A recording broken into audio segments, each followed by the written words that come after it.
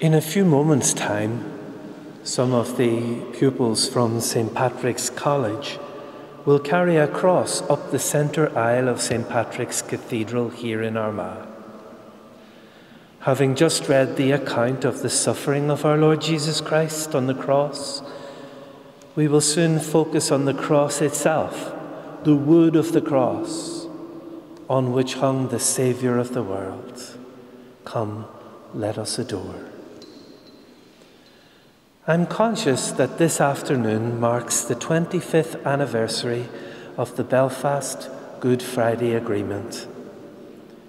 These young people weren't even born in 1998. So they and the generation of young people before them have no recollection of the terrible violence which brought so much destruction, bloodshed, grief, and trauma into our communities. And thank God that today's young people don't have that experience. This Easter, I thank God also for all of the lives and livelihoods that have been saved because of the agreement.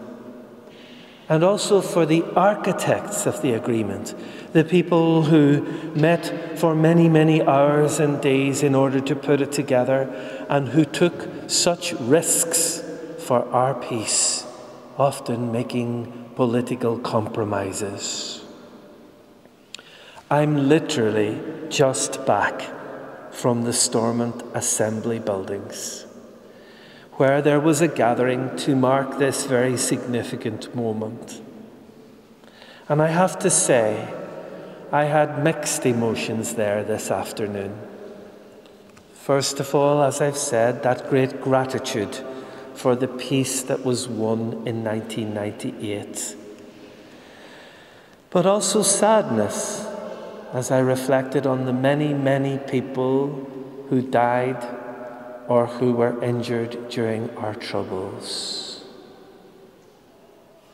And I also have to say, that I'd sadness too because even though we've made so much progress in ending the hostilities here, we remain a divided people, separated by distrust, sectarianism, intimidation, and we're unable to govern ourselves in any normal, sustained manner and for any reasonable length of time.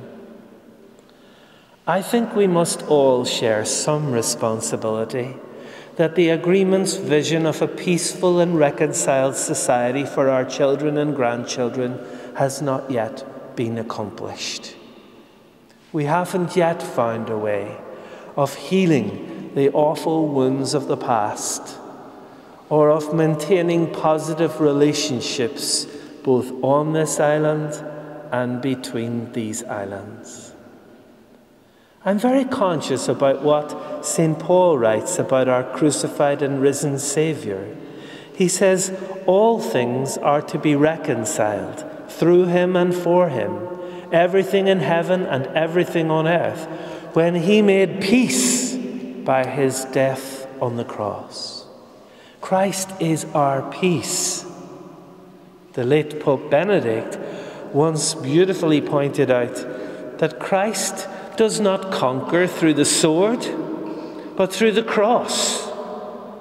He wins by conquering hatred. He wins through the force of his greater love.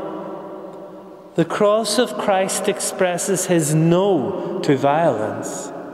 And in this way, the cross is God's victory sign, which announces Jesus' new way the one who suffered was stronger than the ones who exercised power and violence over him.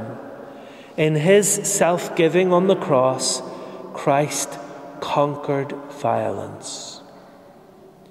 Christians, therefore, should always be people of peace, people who recognize and live the mystery of the cross as a mystery of reconciliation the work of reconciliation is compulsory for Christians.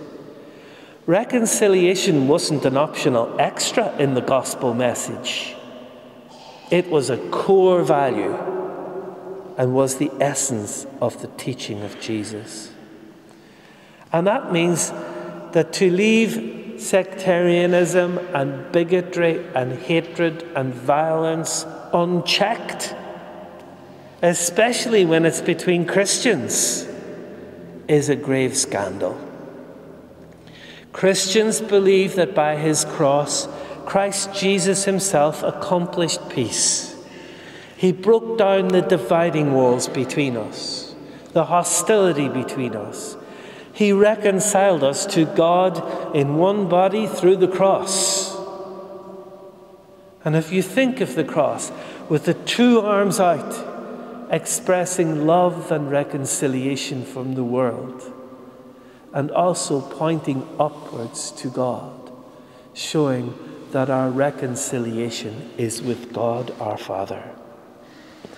And that is why this afternoon, during this solemn ceremony of the cross on Good Friday, and also in the coming joy and hopeful Easter celebrations, I'll be praying that the 25th anniversary of the Good Friday agreement might be a catalyst for greater engagement by all of us in the unfinished work of peace, in the unfinished work of healing and reconciliation here.